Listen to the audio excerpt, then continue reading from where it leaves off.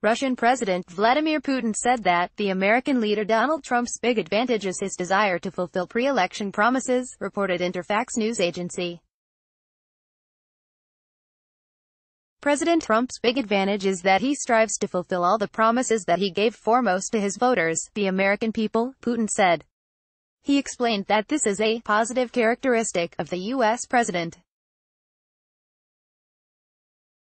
Also, according to Putin, you can criticize Trump's actions, but it is quite obvious that he strives to fulfill pre-election promises.